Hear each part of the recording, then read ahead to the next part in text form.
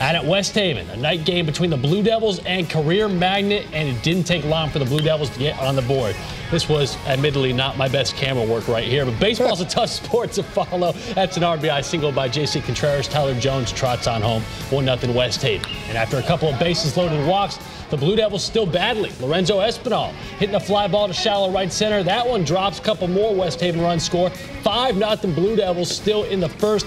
Give credit to the Panthers. They never stopped battling. A nice strikeout by Angel Lugo right there. But Career just can't catch a break. They try to get the runner at third, but the throw goes over the third baseman's head. Chris Cavallero scores 6 0 West Haven still in the first. And in the end, the Blue Devils cruise to an 8 2 win at home. West Haven next in action Monday at Shelton.